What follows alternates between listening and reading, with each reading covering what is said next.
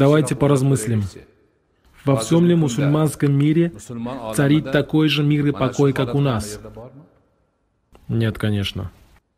Сейчас те, кто называет себя мусульманами, ведут войну, уничтожают и проливают кровь друг друга. Их дети становятся сиротами, а жены вдовами. Если вы обратили внимание, из-за нехватки времени на передачу огромного потока информации посредством речи, на экране телевизора показывают бегущую строку, где пишут о важном событии. Например, «Сегодня в такой-то мечети Пакистана произошел взрыв. В результате взрыва погибло столько-то человек». Или «В произошедшей перестрелке в такой-то провинции Афганистана погибло столько-то людей». В Ираке погибло 70, в Сирии 170, в Палестине 80, в Йемене в 90, в Сомали 30 человек. И все они мусульмане. Все они мусульмане. Мусульманин убивает, проливает кровь мусульманина, разрушает его имущество, сравнивает с землей бульдозером и мусульманские могилы, взрывает принадлежащие своей же вере исторические памятники. И все это происходит в священном месяце Рамадан. Срам да позор для мусульманской уммы. Раньше СМИ, наверное, писали, приближается месяц Рамадан, а вось мусульмане притихнут. Я сам это читал. А сейчас они пишут, на этих мусульман даже Рамадан не действует. В мусульманском мире идет кровопролитная война. В Ливии они душат друг друга. И вот, на прошлой неделе в Тунисе произошла перестрелка, в результате которой погибло несколько солдат и вооруженных людей. То же самое произошло в Алжире, Люди Аль-Каиды напали на саудовский пограничный пост, убили пограничников и сами потеряли трех человек. Двое из них сбежали с места событий и скрылись где-то. Позже, когда их обнаружили и окружили, они сами себя взорвали. И все это происходит в священном месяце Рамадан, за эти прошедшие три дня. Все это очень негативно сказывается на репутации мусульман. Снова гибнут мусульмане, снова убивают мусульмане, снова мусульмане остаются без крыши над головой, их дети остаются сиротами, жены становятся вдовами, а родина их продолжает рушиться. В исламском мире нет прогресса, отсутствует благополучие. Можем ли мы сказать, что в тех мусульманских странах, где идет братоубийственная война, люди держат пост с таким же удовольствием, как мы? Детский фонд ООН, ЮНИСЕФ, дня 3-4 тому назад объявил, «Люди добрые, будьте милосердны, помогите. 6 миллионов сирийских детей нуждаются в вашей помощи. 6 миллионов, подумать только. Есть страны с населением 670, максимум 800 тысяч человек. А здесь только детей 6 миллионов. Им всего по 3-4 годика просит помочь с доставкой им хлеба и воды. И это происходит в священном Рамадане. При этом сирийцев истребляет не кто-то там со стороны. Они сами проливают свою кровь, беспрерывно воюя между собой. И те, убивающие мусульмане, и эти. И все это происходит не только в одной или в двух странах. Это происходит во многих странах мусульманского мира, особенно в арабских странах. Обе воюющие стороны являются мусульманскими. Обе стороны совершают намаз, держат пост, но при этом беспощадно убивают друг друга. Один художник-киноведец создал карикатуру на эту тему. Изобразил он двух арабов, Оба они в национальных костюмах, и оба держат по дубинке в руках. На их дубинках надписи «Аллаху Акбар». Оба араба беспощадно колотят друг друга по голове. И тот, и другой кричат при этом «Аллаху Акбар». Чуть поодаль стоят двое врагов и насмехаются над арабами. Один спрашивает другого, «Кто же из этих арабов победит?» Второй ему отвечает, «Победим мы с тобой». Подумать только, мусульмане колотят друг друга по голове, а победу чествуют другие. Потому что воюющие с друг другом мусульмане покупают оружие у этих наблюдающих на стороне. Вот если бы собрать всех их в одно место и дать им задание. А ну, изготовьте хотя бы один пистолет самостоятельно. Не смогут, потому что не умеют. Они не смогут изготовить даже один патрон, но покупать чужое оружие ради истребления своих же соотечественников, единоверцев, а не мастаки. Закупать чужое оружие, чтобы убивать своего. У одних якобы есть уважительные причины на войну, другие якобы протестуют таким образом собственного правительства. Кто тебе дал право на такой протест? Хотя там от государственного-то практически ничего не осталось. К примеру, в Ливии умер Каддафи. Также бесследно исчезли его люди. Те, кто когда-то выступал против него, сейчас убивают друг друга. То же самое происходит в Ираке и в других регионах. И все они утверждают, что являются мусульманами. Но кровопролитию конца края не видно. Рассмотрим события, происходящие в Сомали. Государство является исламским. Практически все население страны состоит из мусульман. Иноверцев там, можно сказать, и нет.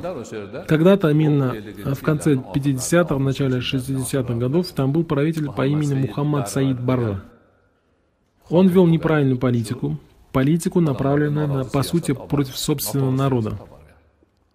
Естественно, население восстало. Началась гражданская война, которая затянулась на несколько лет. В 1991 году вышеназванный правитель сбежал.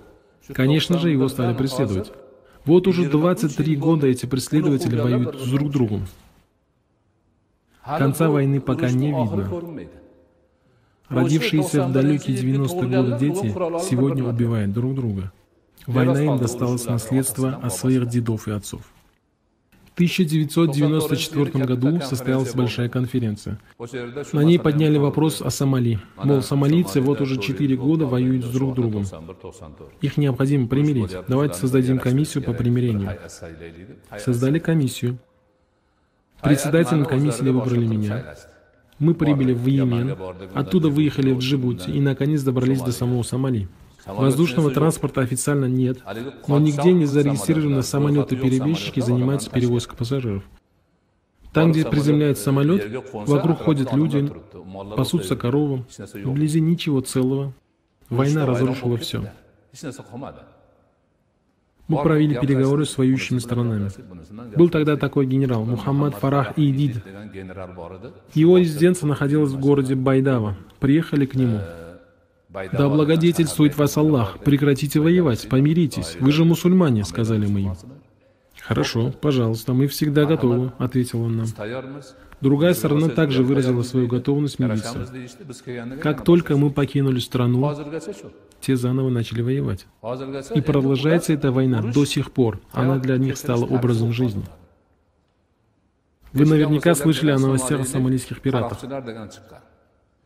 Вооруженные молодые люди останавливают корабли, наводят оружие на членов экипажа и требуют от судовладельцев миллионы долларов.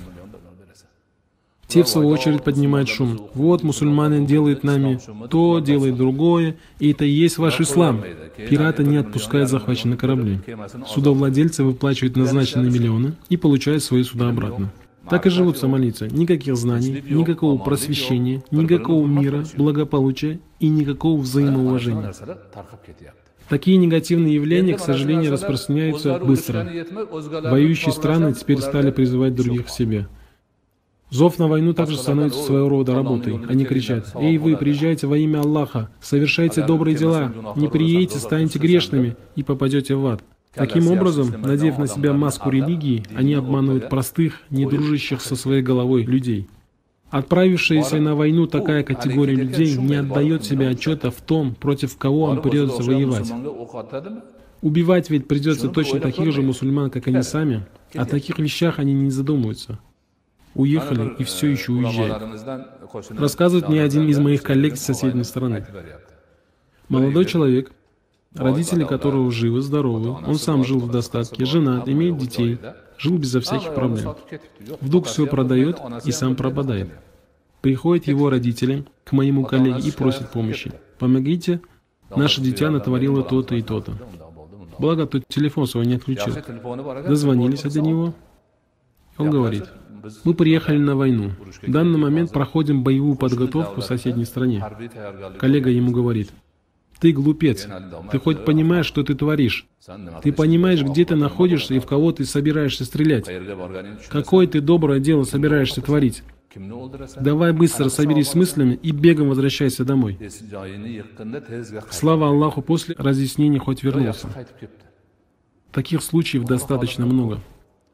Те призывают людей, приезжайте, врата рая для вас открыты. Вам будет предоставлено то-то и то-то. Призывают через интернет, твиттер, звонят, отправляют своих представителей, используют какие-то другие средства и методы, сбивать с толку людей. Один призывает, так-то и так-то, надо вам всем срочно ехать на войну. Другой говорит, не слушайте вы его. Лучше спросите у него, почему же он сына своего не отправляет, раз такая срочность. Подобно призывы и все остальное, к сожалению, становится профессией. Муфти Саудовской Аравии Абдулазиз Али Шейх восклицает. Это неправильная война. Не надо никому ехать туда. Не отправляйте детей своих. Всем призывающим прекратить звать людей на войну. Вы неправильно поступаете. Ваши действия противоречат мусульманству. Так вот, этот муфти рассказывает мне, что один из тех пропагандистов красноречиво убеждал людей ехать на войну так, что его мастерски выполненные призывы подействовали на собственного сына. Узнав, что его дитя уехало на войну, этот пропагандист потребовал своего правительства немедленно вернуть сына обратно. Вот такие вот бывают подлецы пропагандируют простых людей ехать на войну, отправляя их в самое пекло, зарабатывают на этом немалые деньги, но сыновей своих не хотят пускать. Мой сын уехал без моего разрешения. Прошу найти и вернуть его, потребовал один из них. Это Муфти мне рассказывает. После всего этого правительство Саудовской Аравии издало закон об уголовной ответственности за участие в таких войнах. Участники подобных войн теперь будут осуждены и лишены свободы сроком от 20 до 30 лет. Правительства стран вынуждены идти на такие меры. Кому все это нужно? Кто заинтересован во всем этом? Беды исламского мира в этом и заключаются. Несмотря на Рамадан, повсюду идет война. Проливается кровь. Везде друг друга избивают, истребляют. Крупнейшие города после бомбардировок превращаются в выжженные зоны. На месте их появляются руды, груды почерневших от огня кирпичей. В таком положении находятся там дети, я уже говорил. До каких пор все это будет продолжаться? Все это надо глубоко осмыслить. Три-четыре дня назад я пригласил к себе по делу одного молодого человека. Под конец он спросил, о десятине, выплачиваемом с урожая, и получил ответ. Потом он попросил разрешения задать следующий вопрос, и после разрешения спрашивает, как мы смотрим на войны, происходящие сегодня в исламском мире? Один заявляет, что якобы халиф, другой призывает бить шиита, третий зовет на войну с суннитами. Какую позицию при всем этом должны занять мы? Сейчас все мы об этом думаем. Какую же позицию нам занять? Это и заинтересовало молодого человека. И правильно делает, что интересуется. Он спросил меня, ничуть не сомневаясь, что я знаю верный ответ. И правильно поступает. Нужно спрашивать. В случае звонка оттуда с призывом на войну вовсе не нужно срываться с места и ехать в чужую страну, сломя голову. Надо задаваться вопросом, дозволяется ли все это в шариате? Как поступить, если да? Надо спрашивать. Я ему ответил, что все они такие, одержимы войной против друг друга. Те, которые объявили о халифате, ранее состояли в Аль-Каиде. Позже отделились от него и создали свою так называемую организацию – Исламское государство Ирака и Шама, которая и начала войну против тех, кто воюет с сирийским правительством.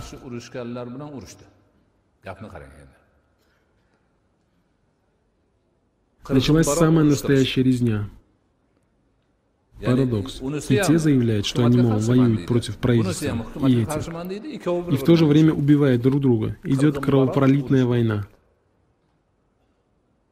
Обе воюющие стороны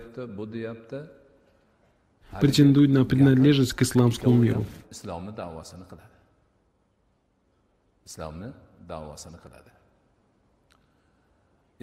Вдруг эта организация нападает на Ирак. И объявляет себя исламским халифатом. Какую же при этом они преследуют цель? Я стал халифом, и все должны мне подчиняться. Приезжайте, я вам дам оружие. Это заявление СМИ на следующий день, на следующий же день распространили по всему миру. На следующее утро после такого заявления я обнаружил у себя на электронной почте письмо из Всемирного Совета Исламских Улемов. Я являюсь членом этой организации, членом Совета секретарей, и поэтому любой изданный документ в числе первых поступает и мне. Нас там более 30 человек. Письмо подписано председателем Всемирного Совета Исламских Улемов, шейхом Юсуфом Абдуллахом Кардави и генеральным секретарем организации Али Мухиддином Карадаги.